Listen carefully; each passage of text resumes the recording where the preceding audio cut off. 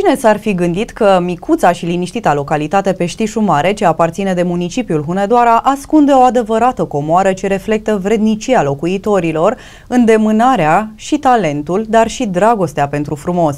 Comoara spirituală, dar și materială a comunității, păstrată și transmisă din generație în generație, a ieșit la lumină la șezătoarea organizată nu întâmplător între Mărțișor și Ziua Sfântă a Mamei și a Femeii.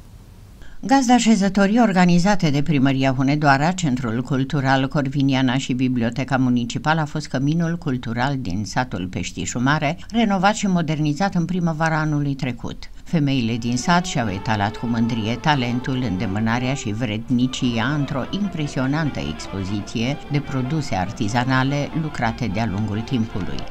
Dar sincer vă spun, am trimis cuiva o fotografie cu ce se întâmplă aici și a spus, wow, câtă muncă!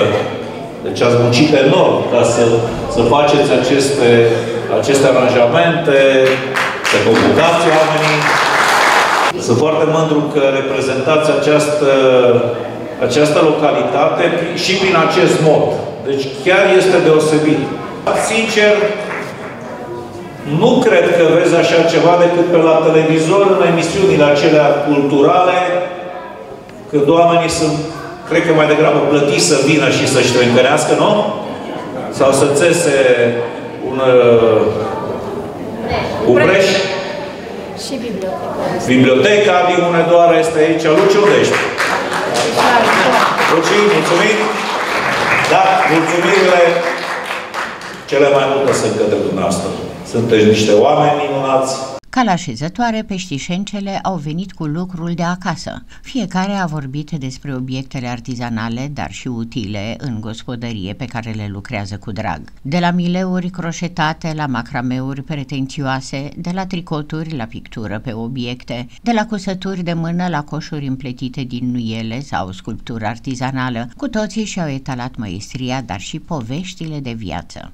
Războiul e un lucru greu de pornit, dar dacă pornești poți să lucri. Și copii tânări pot lucra.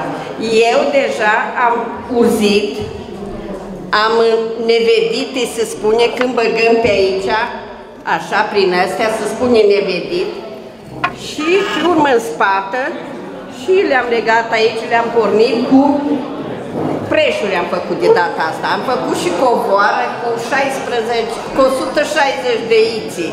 Dar acum am pus numai preșuri pentru că nu-i materiale atât. Sor mai pierdut. Câine păim, ce torceam, nu mai e ce-a spus doamna de la Slaș. Găta cu ină și cu câine Acum la câine păi zic cannabis. Îndeletniciri dobândite la început ca o necesitate pentru gospodărie. Au devenit tradiții transmise din generație în generație, copiii fiind și ei angrenați în astfel de activități devenite emblema comunității. Noi aici facem pictură pe sticlă, pictură tradițională, mai bine spus, icoană pe sticlă.